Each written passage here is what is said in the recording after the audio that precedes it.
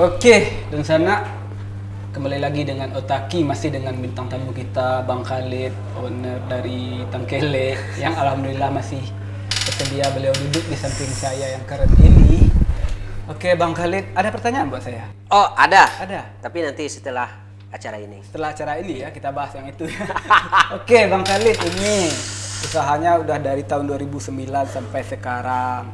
Ini kan banyak juga distro-distro yang berkecimpung dengan brand khas masing-masing. Abang merasa ter- tersaingi nggak?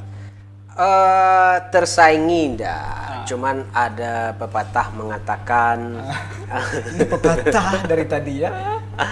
usaha itu tidak indah tanpa ada kompetitor. Iya, ya. Nah, Jadi kompetitor itu adalah eh, tempat kita mengukur Mengukur ya Kekuatan kemampuan kita. Kekuatan ya. sejauh mana Hmm.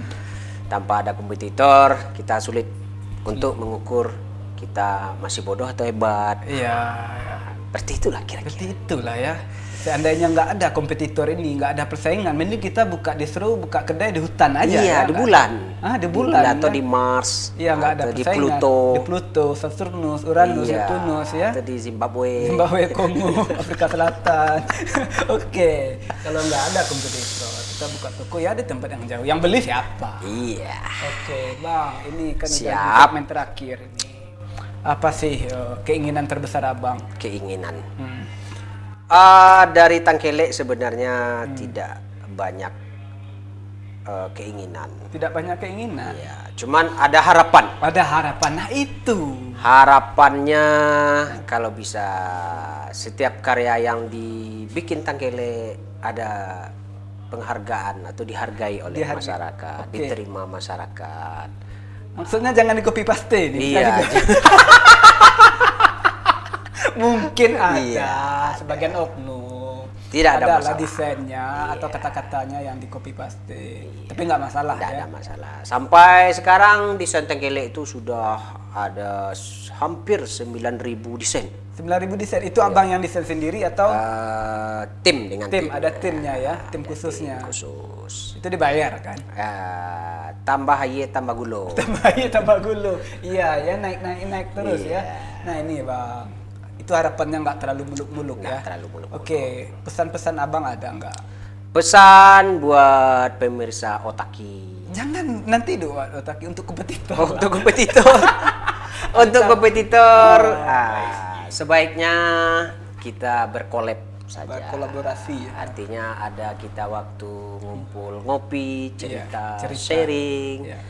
Nah, kemudian kita sama-sama jaga kualitas kita, Oke. produk kita. Nah, artinya kita coba berbisnis sehat walafiat. sehat walafiat Iya, ya tanpa Nah, ada covid. ya. pesan abang atau ucapan abang ke masyarakat yang Ke masyarakat. menggunakan produk abang ini ada nggak Eh, biarin aja lah iya, haha. apa diarin aja lah. biarin aja lah dia dapat baju kita dapat Iya. uang udah kelar urusan Tapi semoga menikmati produk Semoga Takele. menikmati. Iya, kalau produk kita bagus silakan puji. Ah. Kalau produk kita tidak bagus, silahkan dimaki gitu iya, bukan dimaki. Beli lagi. beli lagi ya. Abang masih ingat nggak siapa sih orang pertama yang abang minta tolong jasanya untuk menjadi endorse? Masih ingat nggak? Oh, banyak. Banyak. Banyak, iya. Jadi Banyak sekali. untuk endorse kita sekarang punya ambasador namanya Kintani. Kintani? Itu Payakumbuh punya. Payakumbuh punya ya. Ya, hidup Payakumbuh. Oke, Payakumbuh keren. Itu Kintani itu mantan saya. Oh iya, mantan majikan ya.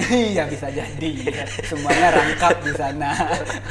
saya beberapa kali Kintani itu pengen bertemu dengan saya. Siapa sih itu Bang Rio CML Iya. katanya sekarang di Hostaki, tapi saya belum ada kesempatan. Sibuk ya. Sibuk saya di sini. Habis ini saya ke po, ke ladang bang ke kebun. Gak cukup honor saya. Ini saya dibayar dua puluh ribu satu episode. Satu episode ya. 20.000. Itu pun potong kasihan tangkele itu. potong PPH. Ya, tapi dalam bentuk dolar. bentuk dolar. Dol- Wush. dolar Zimbabwe. Dua puluh ribu satu telur satu butir telur itu. Iya, Oke, bang. Siap. Sudah banyak kerjasama ini dengan banyak lembaga ini tadi sudah saya tanyakan nggak merasa dirugikan, tapi untungnya nggak ada kan. Ini ada proyek besar nggak dalam jangka pendek ini bang? Ah, proyek besar nggak ada. Cuman di saat pandemi sekarang kita coba untuk bertahan saja. Itu Bertahan saja. bagus. Nah, karena kalau kita punya planning yang banyak di saat kondisi sekarang, kita takutnya bablas. 12 ya. Nah, selain dari eh, produksi t-shirt, eh t-shirt kan bahasa saya keren bang ya, baju lah, kaos, celana, jaket segala macam. Di luar itu ada nggak tangkelek ini produksi yang lain? Misalnya mungkin kopi, Oh ada, kita bikin lemang kopi. tapai, tapai ada. Kita ada bikin kopi khas Minang juga karena Tangkile juga. ini 100% Minang. Jadi kita bikin kopi yang Minang Minang Bana, Minang Bana berarti kedai kopi. kedai kopi. Ini tempatnya di mana? Tempatnya di Bukit Tinggi. di Bukit Tinggi, di Payakumbuh belum Di ada. Payakumbuh belum. Next. Next ya. Ya. Ya saya pengennya ada di Payakumbuh. Ya biar kita ngopi gratis. Ya, aduh. Ketebak ini, ketahuan saya. Oke bang, ada ya. Selain dari kopi, masih ada keinginan lain bang? Eh, sepertinya baru itu. Baru itu. Nah, kita mengembangkan yang sudah ada. Oke, abang kan juga banyak menjadi produser untuk sebuah film, video. Itu gimana itu ceritanya? Ah, Diajak atau itu itu itu balik ke yang tadi pertanyaan yang tadi sebenarnya itu kolaborasi Kolaborasi aja ya, saling menguntungkan saling kita. menguntungkan kita coba produseri mungkin ada video klip Video klip ya. Hmm. produseri sebuah film yang uh, film indie Iya. Ah, itu tepatnya ya yang tadi collab Collab ya. ya Oke bang, pesan kesan udah. Abang ada nggak yang abang ingin sampaikan kepada teman-teman abang tadi? teman-teman abang baik yang sedang dirumahkan Iya, atau yang sedang yang sekarang masih bertahan sama abang yang ada nggak yang ingin abang sampaikan? Ah, Tapi sebenarnya untuk putra jangan lah untuk putra. untuk putra itu saya semoga kurang suka saya. oh kantor gua masih terbuka lebar Ah, karena kabarnya stok buku nikah mau habis mau habis. Beliau nanti nikah di Belanda. gitu. Oke bang, ada nggak yang? Nah, jadi pesan yang terakhir yang serius Iya. eh, untuk semua mungkin, Semua, oke siap. semua pemirsa otaki yang tercinta Iya. di mana pun berada, baik yang di Saturnus atau Neptunus. Iya iya. Eh, karena saya bergiat di bisnis, Iya. kemudian hobi saya ada di sana. Mm-mm, pasti. Jadi kalau bisa kita berbisnis itu sesuailah dengan hobi. Iya. Banyak hal yang bisa kita nikmati dari hobi. Oke. Misalkan hobi kita eh, tidur, Iya iya. Hobi. ya? sebaiknya kita berbisnis bisnis kasur, Oh gitu. bantal. Karena kita tahu tidur yang enak itu seperti apa di kasur dan bantal. Iya ya tidur yang enak tuh pakai kasur, nggak lapik pandan, enggak kan? Iya, kalau kita hobi makan perai, bukalah bisnis catering. Iya, iya. kuliner. Karena dia tahu makan yang enak itu seperti apa. Iya iya iya.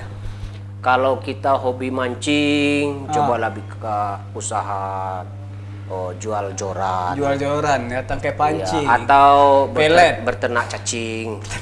Karena dia tahu cacing yang mana yang akan dimakan ikan. Iya iya ada di sana proses untuk belajar ya bang ya. Iya, dari hobi. Dari hobi. Iya, kalau hobinya maling, ah mending buka usaha eh, penjara. Iya, karena Penjara. Ownernya dulu di penjara Iya. ya gimana rasanya? Beli ya? satu ruko, bikin penjara. Sekian, terima kasih itu dari saya. Belum belum kelar Oh, belum kelar. bang. Kita belum ini ini. Untuk pesan-pesan untuk pro- Oh, otaki ini ya. ada oh Bang? ya, Ya, untuk lah otaki eh ota terkini, Ya. podcast and review. Ya, ya tutup lah nih. Oke. Ada Eh, untuk otaki eh, semoga otanya makin eh, kiki. Otak terkini, Bang. Oh, ota terkini. Iya, semoga otanya semakin kini. Untuk hostnya ada nggak, Bang? Saya puji-puji host- lah saya. Untuk Gimana hostnya eh, eh, nanti eh, untuk hostnya eh, kita kasih nanti peniti karena resleting celananya tadi lepas. nggak dikasih celana baru. Oh Niti iya. yang dikasih. Iya, nanti kita ada produk terbaru dari Tangkele yaitu celana gelembong. celana gelembong. Waduh, keren. Saya tahu itu celana gelembong Iya. waktu sejarah di Pariaman. Iya, Dipajang dapatkan di toko material terdekat. Iya, dipajang di pinggir pantai, akhirnya Belanda terhipnotis balik lagi. Padahal itu cuma celana. Celana. Oke, keren sekali. Terima kasih Bang sudah hadir di Otaki, bersedia hadir di sini. Kapan-kapan nggak kapok lagi kan ke sini? Iya, Kalau kapok kita saya. udah kapok ya Iya. ini gara-gara ini ya. Kena pajak saya setiap sini. Ada t-shirtnya tadi ya. Oke. Oke, Bang, makasih Bang ya. Siap, terima kasih eh, Bang. Rio sukses dengan otakinya. Pasti lah pasti sukses itu. Eh, kalau bisa setiap Ah. hari postingnya 10 kali 10 kali ya. melebihi dari oh, rakaat sholat. Iya ya, yang nggak kuat produsernya bayar honor saya, Iya. Oke, terima kasih Bang Khalid Arafah owner. eh, iya sama-sama Rio. cerita Minang lucu Iya, sukses selalu untuk Abang. Kalau udah sukses, sawahnya penuh di atas, airnya jangan lupa diturunkan. Iya. Jangan disumbat. seperti yang lantai tiga tadi Iya, bocor. tiga ya. Nggak kita minta dia turun sendiri ya.